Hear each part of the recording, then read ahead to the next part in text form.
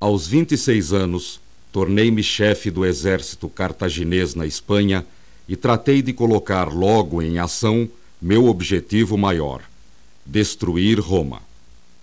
Reuni 50 mil soldados e 30 elefantes e com eles rumei para a Itália. Foram cinco meses de difícil marcha. Atravessamos os Pirineus, o Ródano e os Alpes. O cansaço e o frio diminuíram nossas forças e enfraqueceram nossos corpos. Perdi metade de meus homens e um terço dos elefantes. Mas não desisti. Atravessamos toda a península italiana, surpreendendo os romanos e vencendo-os em emboscadas e batalhas abertas. Foram quinze anos de terror para os romanos. Acossando-os dentro de seu próprio território, esperava que se rendessem frente ao poderoso exército cartaginês. Até que o destino mudou minha sorte. A pátria-mãe Cartago gritou pedindo socorro. Os romanos a atacavam com inesperada violência. Fui às pressas defender meu povo. Em Zama, senti a amarga vergonha da derrota e fui obrigado a aceitar as condições de paz dos romanos. Vencido, mas não esquecido. Meu nome e minha coragem foram lembrados nos livros romanos, onde os estudantes liam. Audacioso para afrontar o perigo, Aníbal era cheio de sangue frio, mesmo no perigo. Nenhum trabalho fatigava o seu corpo, nem abatia o seu espírito. Suportava igualmente o frio e o calor. Para comer e beber, consultava suas necessidades e não o prazer. Era visto muitas vezes coberto com um sobretudo de soldado, deitado no chão no meio das sentinelas e dos corpos da guarda. Aníbal era o melhor cavaleiro e o melhor infante, o primeiro a marchar para o combate e o último a voltar.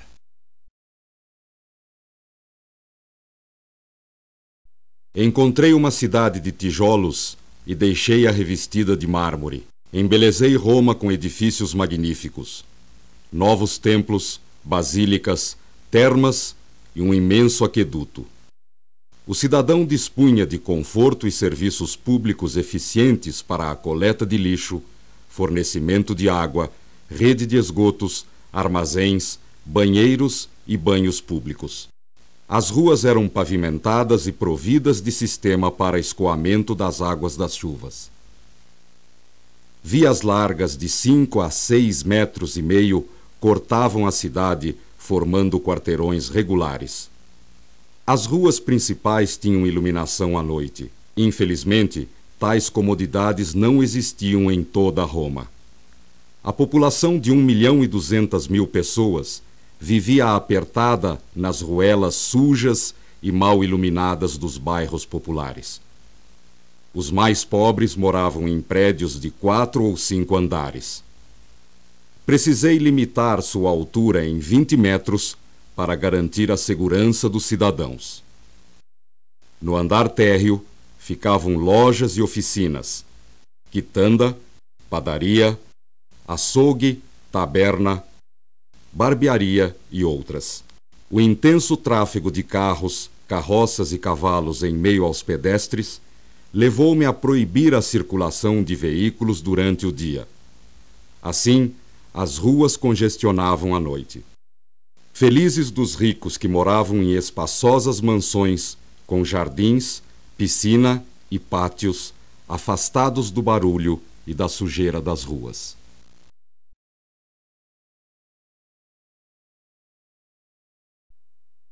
Quosque tandem abutere, Catilina, patientia nostra, quandio etiam furor isteturnos eludet, quem ad finem cessi e frenata iactabit audacia, nihilne te nocturnum praesidium palati, nil hurbis vigiliae, nil timor populi, nihil concursus bonorum omnium, nil hic munitissimus habendi senatus locus, nil horum ora ultusque moverunt. Patere tua consilia non sentis, constrictan ian horum omnium scientia teneri coniurationem tuam, non vides. O tempora, o mores, senatus, haec intelligit, consuluidet, dictamen vivit. Vivit? Imo vero etiam in senatum venit fit publici consilii particeps notat et designat oculis ad caeden unum quenque nostrum ad mortem te Catilina duci iussu consulis iam pridem oportebat in te conferri pestem quam tu in os homines iam diu machinaris.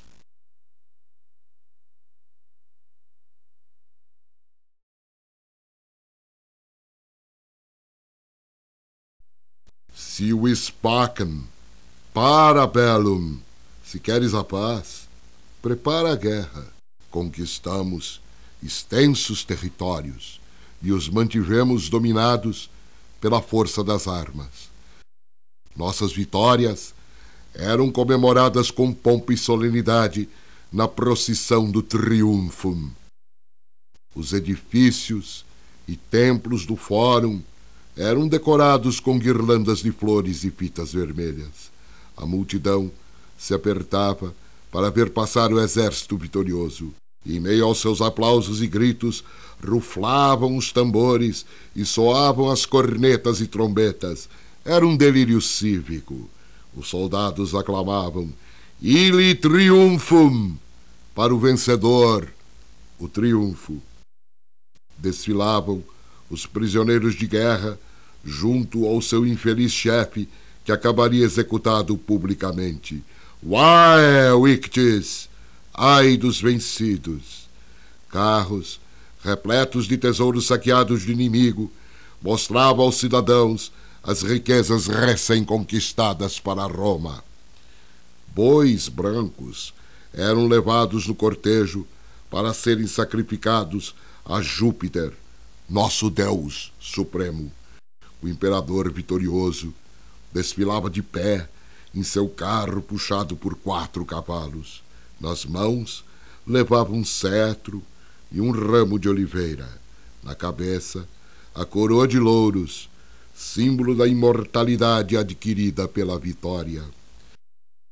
Atrás dele, no carro, ia um escravo, murmurando-lhe: Lembra-te que és apenas homem.